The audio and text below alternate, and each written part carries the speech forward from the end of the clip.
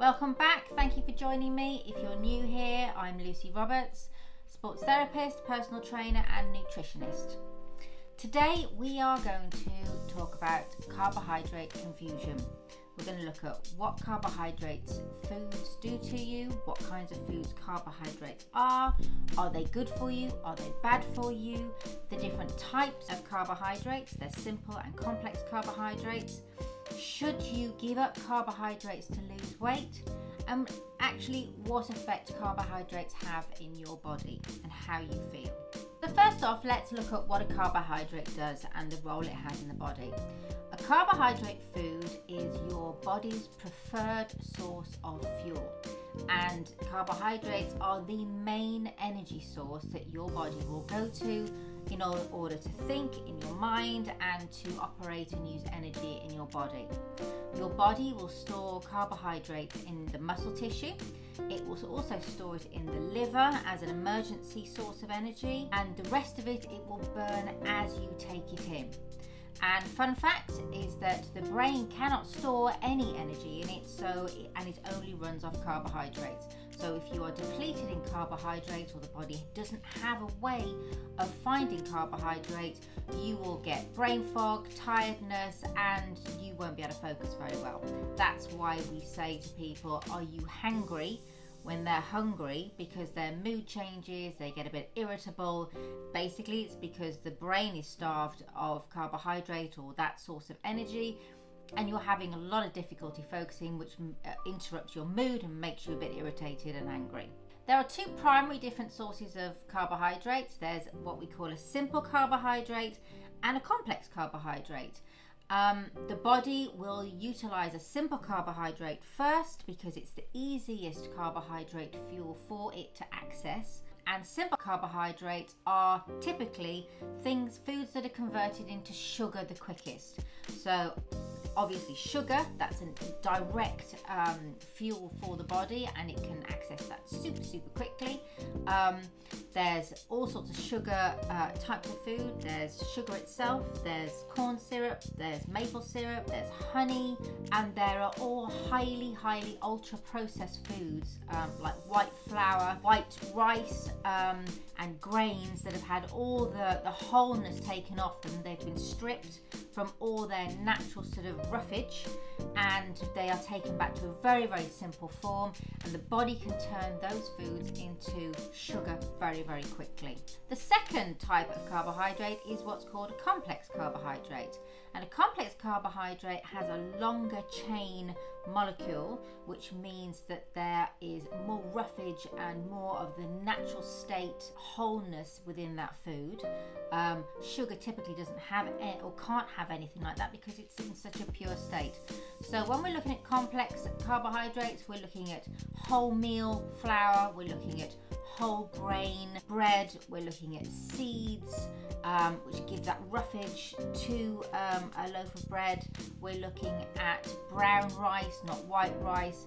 We're looking at um, vegetables. Vegetables all contain an amount of carbohydrate within them and but because of all the fiber and the nutrient richness of a vegetable they are considered to be complex carbohydrates which go into your bloodstream and provide the body fuel at a much more steady slower rate. Apart from the root vegetables which are white potatoes and parsnips these are more of a simple carbohydrate. They're not as bad as sugar, but they will be processed much, much quicker. They aren't quite as dense in nutrient value with vitamins and minerals, and they're very starchy. And the starch within them uh, and the bulk of it means that that makes them very, very easy to be turned into sugar. The other types of complex carbohydrates, which are really, really good and very slow releasing, are beans and lentils, all sorts of pulses. So these are incredibly good. Um, typically beans, because of the high fiber within them, mean they're fantastic for your gut health as well. They're like a Brillo pad, just working their way through the colon, cleaning it and keeping it healthy. So, looking at the two different types, we've got simple and complex carbohydrates. The main difference is that the simple carbohydrates are, are directly go into your bloodstream as a sugar source. The body can utilize that energy very, very fast and very, very quickly And the complex uh, carbohydrates are the whole grain, uh, packed full of nutrient and dense fiber types of food. So when we consume carbohydrates, the body breaks down those foods and turns it into glucose, which is a simple sugar that serves as the primary food source that enters your bloodstream and your cells. The body will utilize that, that carbohydrate, that glucose, very, very quickly, and it will store some of that glucose in the muscles, as I've said before, and in the liver for emergency use um, at a later date if you become very depleted in energy. Um, excess simple and the, the excess glucose will be literally excess. And what the body typically does is it will boot it into the basement, and that basement is your fat cells. So there is only a certain amount of carbohydrate slash glucose that the body will utilize and use on immediate level and be storing for a later date to keep you going. Everything else is surplus. So the more carbohydrate you eat, the more the body has excess and the more the body is going to store it as fat. And in many, many years, we have considered, or the diet, dietary bodies have considered the fact that fat is so, so bad for us. But in actual fact, it's not fats that are that bad for us. It is the sugar and the carbohydrate content and the levels of carbohydrate that we eat in a Western world that makes them highly addictive. And it means that we're just not using the energy. We are slow, sedentary people there's only a certain amount of energy your body can use and expel at any one time. And we have an abundance and an excess that we eat all the time, which means that we are always, normally, unless we're very careful, storing these sugars in our fat cells um, for a later date. The body's mechanism on its survival says store, store, store because we are inherently designed through history and biologically to be able to store energy and fat for at a later date when there's a shortage of food.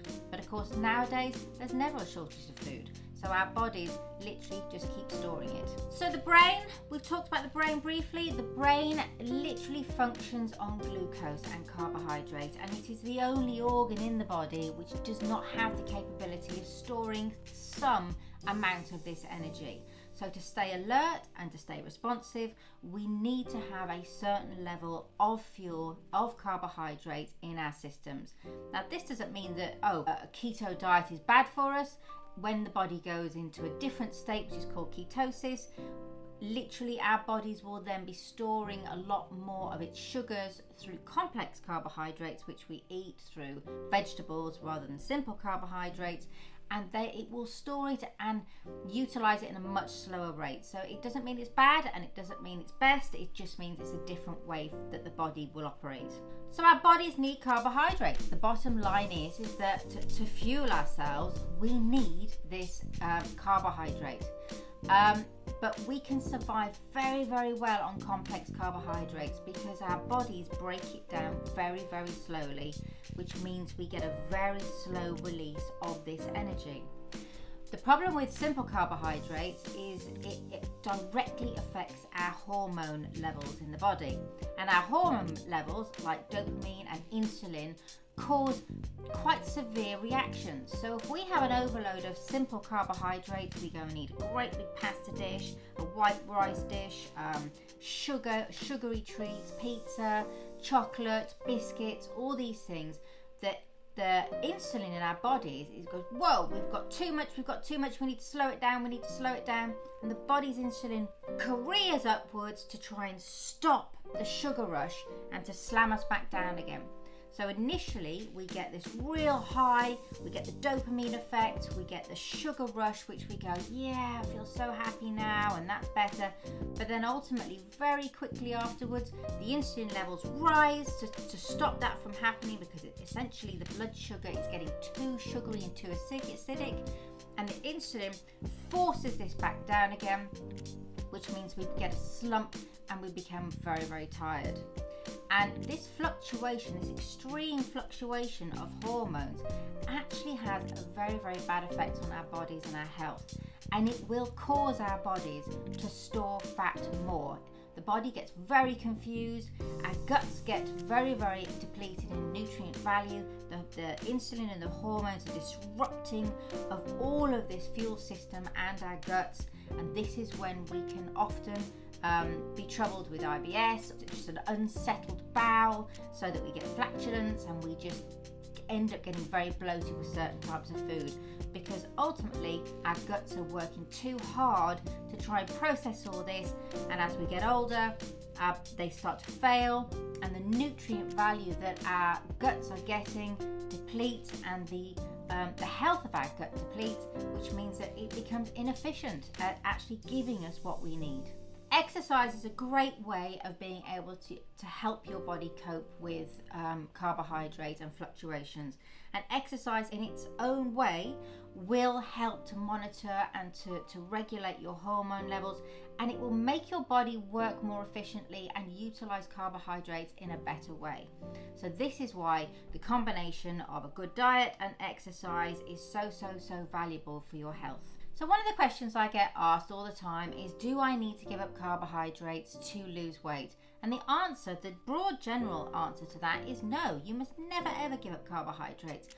But to lose weight and to become healthier and help your system overall, we always recommend cutting out as much simple carbohydrate as you can because it's literally like putting petrol on a fire intermittently where it goes burns all that fuel in the fire and then dies down.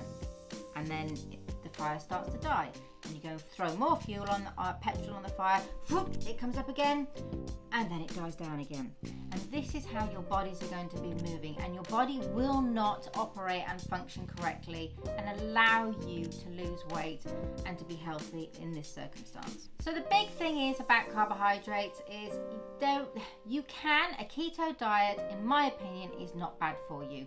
The only problem with the keto diet is the fact that it's very difficult to stick to a keto diet, essentially a good quality keto diet, is where you up your protein levels and you eat just vegetables and a certain amount of fruits, um, a minimal amount of fruits and nuts every day, and you completely cut out all grains and simple carbohydrates or even complex carbohydrates which are of the grain uh, family so like brown rice and brown bread um, and you literally just stick to vegetables. And predominantly not root vegetables only vegetables which which grow above the ground. And because all vegetables have carbohydrate content and your body will actually nourish itself slowly and break those foods down slowly you will after a time get a very nice consistent energy level every day but this is very constricting, and my advice to people most of the time is to just cut out everything that is ultra processed and white and uh, simple. So it's cutting out sugars, it's cutting out um, white refined flours and anything made with white refined flours like biscuits and crackers, white bread, um, pastries, buns, all the nice things that we like. Um, but if you are happy to go whole grain and eat brown rice and quinoa and whole grain uh, breads that are really good quality whole grain breads, you're doing yourself a massive favor. It means your energy levels and your hormones are going to be more regulated, which is going to do massive favors for your health and your body and your weight. There you have it. That is the difference between carbohydrates. I hope this has debunked some carbohydrate confusion for you. Um, and you are now inspired to go and eat healthier and uh, look after your bodies better. If you've liked this information, if you uh, think it's been good and uh, you like the channel, please, please, please hit the subscribe button. It helps us enormously. We're very new uh, onto YouTube and we want to get into uh, in front of as bigger audience as we possibly can, which means that if you subscribe and you like this video, YouTube will say, hey, they're okay, and they'll put us into a, in front of a bigger audience. So that would be really, really appreciated. Uh, there's some link, helpful links below. There's a, a helpful link below to my Hot Lemon Sunday newsletter. It's free to subscribe. Um, every Sunday I send out a newsletter with helpful tips all sorts of ideas, things, hacks you can do for a healthier life to cut down time and, and a little bit of education, which just makes you think a bit more about what's good for you and what's not good for you. So please, please, please um, subscribe to that. It doesn't cost you anything unless you want to donate, um, but it's great information anyway. Uh, thank you for joining me, and I'll see you next time.